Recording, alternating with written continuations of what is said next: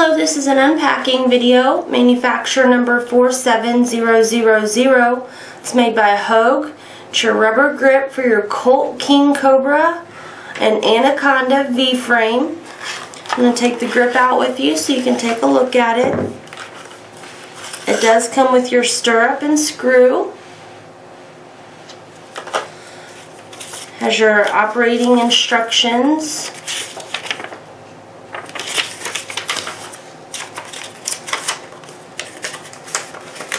So just another uh, picture diagram for you.